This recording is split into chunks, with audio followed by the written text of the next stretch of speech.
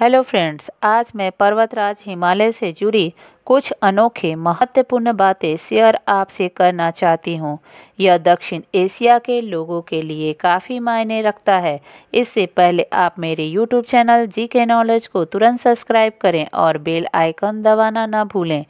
हिमालय संस्कृत के दो शब्द हिम मतलब बर्फ़ और आलय मतलब स्थल से मिलकर बना हुआ है।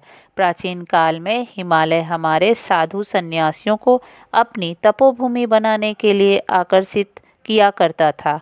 आजकल पर्वतारोही इसे एक चुनौती के रूप में सैल्यूट करते हैं।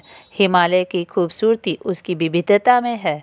यहाँ ऊँची ऊँची चोटियाँ, कई किलोमीटर लंबे ग्लेशियर अथाह गहराई झील और ताज़े पानी की नदियाँ, जटिल भूगर्भित संरचनाएँ और अद्वितीय जीव जंतु पेड़ पौधे इसे प्राकृतिक तौर पर चमत्कारी बनाते हैं। हम लोगों के मन में यह भाव उठता है कि आखिरकार हिमालय पर्वत का निर्माण कैसे हुआ होगा। दोस्तों, आप जानते हैं, आज जहाँ हिमालय, वहाँ कभी टैथिस नाम का सागर हुआ करता था। यह जोरासिक काल करीब 20 से 40.5 करोड़ साल पहले की बात है।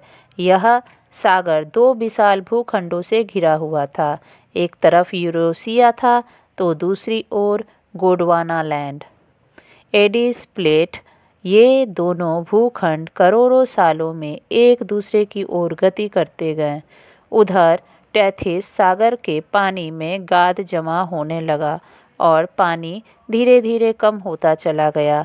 दो विरोधी दिशाओं से पड़ने वाले दबाव के कारण सागर में जमी मिट्टी, गाद आदि की परत भी ऊपर की ओर खिसकती चली गई।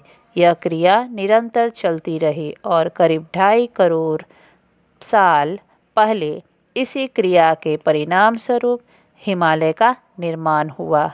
आज भी हिमालय फाइव मिलीमीटर ऊपर उठ जाता है।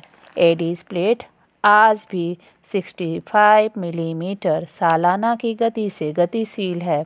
इसी के फलस्वरूप हर साल हिमालय की ऊंचाई 5 मिलीमीटर बढ़ जाती है।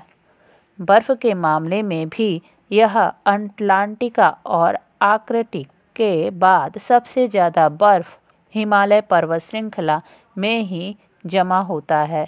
यहाँ कम से कम फिफ्टीन थाउज़ेंड विशाल का एक ग्लेशियर है।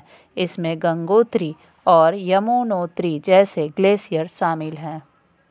दोस्तों, मेरा यह वीडियो आपको पसंद आया हो तो इसे लाइक ज़रूर करें और चैनल को सब्सक्राइब करना ना भूलें।